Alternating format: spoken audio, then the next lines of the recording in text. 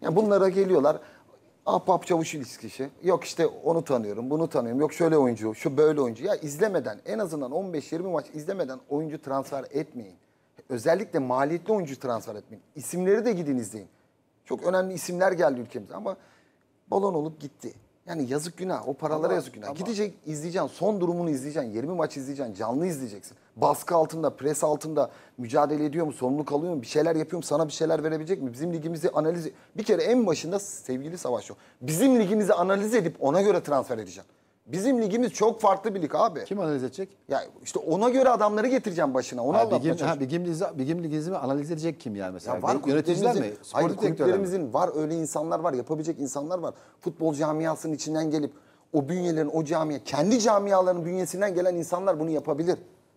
Bak Sergen Yalçın ne yaptı? Camianın ne istediğini biliyor. Ona göre cevap verdi. 13. sıradan 3. yaptı takım abi.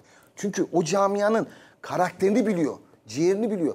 Bu kadroyla bu takımı 3. yapmak her zaman söylüyorum. Çok büyük bir başarıdır ya. Bence de geçen sene Şapkadan tavşan değil dinozor çıkarttı. Samimi söylüyorum ya bu kolay bir şey değil. Yok pandemi süreciymiş, yok oymuş, yok buymuş. Ya bunlar bahane, bahane üretiliyor. Futbolda bahane yoktur. O sahaya Ama- çıkan ama futbolcular. Ben o bahanelere kesinlikle katılmıyorum. Beşiktaş'a geldiğimiz zaman da konuşacağız. Tabii oraya Sergen gelir. Hoca'yı ben her zaman bak bundan e, iki sene önce de Şimdi- Beşiktaş çok yakıştırıyordum. Çok akıllı bir insan. Hakikaten futbol aklı müthiş bir insan. Ya sen ne diyorsun abi? Ama bu sene yükü çok ağır. Bak transferler yapılacak. Geçen sene Ama işte bak yükü geçen ağır sene değil. bak şöyle Şimdi bir şey. Yükü ağır değil. Neden? abi bu transferleri bir kere bak hocalara lafını bölüyorum kusura bakma. Hiçbir hocanın yükü ağır değil. Bir saniye bunu söyleyeyim lütfen rica ediyorum Tabii sana. ki Okan'cığım. Hiçbir hocanın yükü ağır değildir. Neden değildir? Sen bir kere yük yönetimindir, ağırlık yönetimindir. Neden? O transferleri sezon başı kampına yetiştireceksin. Eksik bölgeleri dolduracaksın. O hoca başarısız olursa o zaman hocayı eleştireceksin. Ben katılmıyorum abi. Sezon başı sen ama abi öyle deme. Oyun sistemi, oyun anlayışı, taktik, sistem. Onu tabii bir kere ki o ama futbolculara, Okan, yeni gelen oyunculara bak- aşılayacaksın. Ne istediğini onlara Hiç öğreteceksin. kimse ona bakmaz. Bu takıma 5 tane Bakacaksın oyuncu... işte. Olmaz abi 5 tane oyuncu geç Şimdi geleceğiz. Bu konuları konuşacağız. Beşiktaş'ın kadro yapısını, e, Yok, yok, genel Galatasaray'ı, olarak konuşuyoruz. Fenerbahçe'yi e, bir tamamlayalım. Çünkü Fenerbahçeli taraftarlar da e, bizden Ya Fenerbahçe... kaygılanmasın Fenerbahçe taraftarı.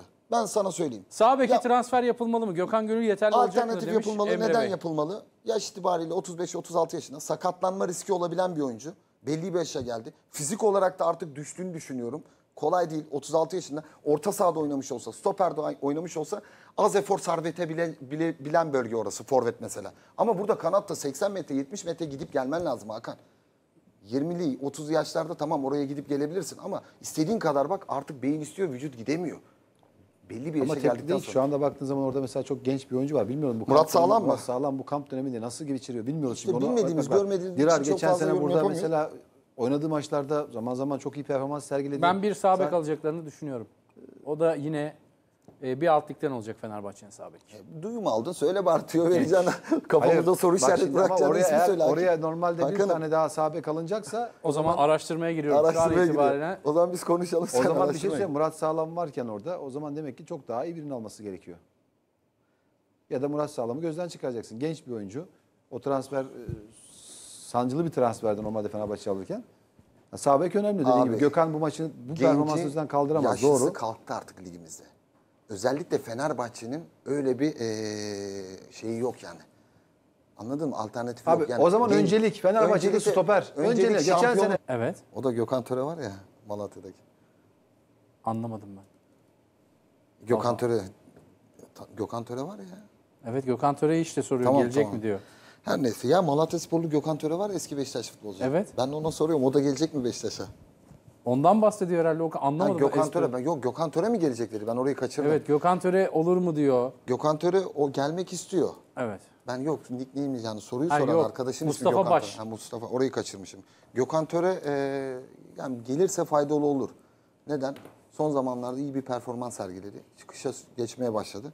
Şimdi onları geçelim. O transferler muhakkak bir santrafora ihtiyacı var Beşiktaş'ın. E, bir sağ beke ihtiyacı var. E, Vida'nın durumu belirsiz. Laiç'in durumu belirsiz. Laiç e, Katar'a gidebilir diyorlar. Suudi Arabistan'a gidebilir diyorlar.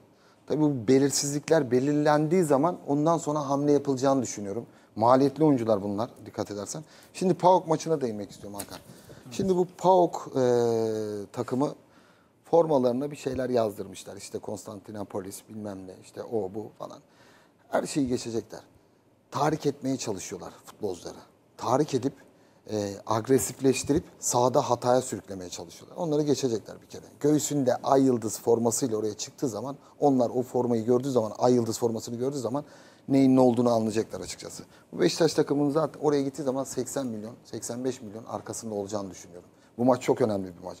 Gerçekten hem eee saha içi anlamda, performans şey anlamında, ekonomik gelir anlamında çok önemli bir maç Beşiktaş açısından. Çünkü bir tur daha geçtiği zaman ondan sonra elemeli maç oynadığı zaman Şampiyonlar Ligi'ne gidecek. Ciddi bir gelir elde edecek. Ben bu maçta işte kafamdaki tek ön yargı bir forvet alınmış olsaydı Santrafor, Sergen Hoca'nın istediği doğrultularında bir forvet gelmiş olsaydı Çok giden var. çok giden var. İşte yeri dolan oyuncuların olduğunu çok fazla düşünmüyorum. Ama burada bir artı Mensa.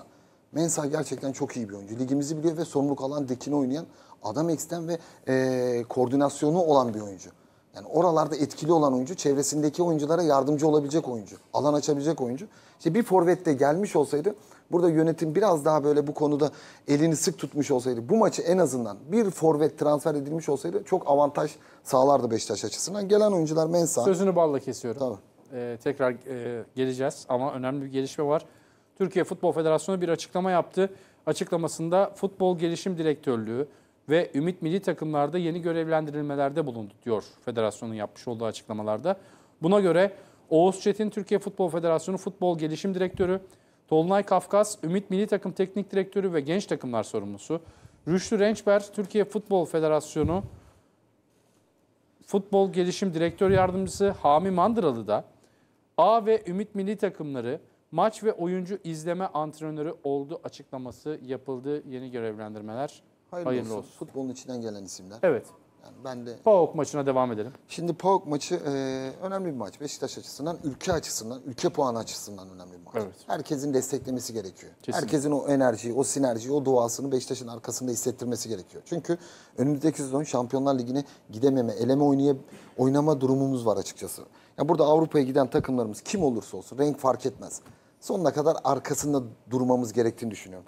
Kolay bir maç olacak mı? Olmayacak. Kısa bir aradan, e, kısa bir kamp süreci yaşayan bir Beşiktaş kulübü ve önemli oyuncuları gitti ve önemli oyuncuların yerinin çok fazla dolduğunu düşünmüyorum. Bir Caner'in işte gittiği yer Ensakala ile orayı Rıdvan iyi idare edebilir diye düşünüyorum. Sağ tarafta şu anda belirsizlik var. Acaba Dorukan'ı mı deneyecek orada tercih edecek veyahut da Douglas'ın son durumu ne? Belirsiz açıkçası. Orada Sergen Hoca, Sergen Hoca'nın e, durumu belirleyecek. Ön tarafta Mensah'ın olması acaba oynayabilecek mi? O konuyla alakalı da çok fazla bilgi sahibi değilim. Yani herkesin beklentisi bir forvetti en, az, en azından. Yani tabii bugün başkan da açıklama yaptı. Ekonomik anlamda sıkıntı çekiyoruz limitlerden dolayı. E, elimizdeki maliyetli oyuncular indirime yanaşmıyor. E, bir şekilde onlardan da kurtululması gerekiyor. Yani burada işte Ensekala fırsat transferi yakaladın aldın hoca çok istiyordu. Ve Hilton keza öyle. E, Mensah keza öyle. Ama bir forvet alınmış olsaydı burada Sergen Hoca'nın da takımın da camianın da kafasını bir nebze rahatlatmış yüreğine su serpmiş olurdun. Yani bir transfer daha gerekiyordu şu maça en azından. E Beşiktaş'ın ihtiyaçları var mı? Var. Bir kere en azından sağ öne bir oyuncuya ihtiyacı var. Bir kere sağ beke ihtiyacı var. Kaleciye ihtiyacı var. Vida giderse o bölgeye muhakkak ki bir transfer yapması gerekiyor. Laiç'in durumu belirsiz. Şimdi orta Kolay- saha kurgusuna bakıyorum. Dorukan, Atiba, Oğuzhan, Mensah, Laiç.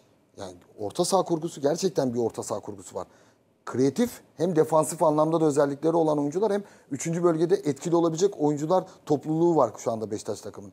E sağ önde üreten bir oyuncusu yok. Lens soru işareti. Her an çok bir maç bakıyorsun muhteşem işler yapıyor. Umutlandırıyor herkesi. 5 maç beklentiler içerisinde karşılamıyor. Her sezon başı Lens e, kampların en iyi ismidir. Kamplar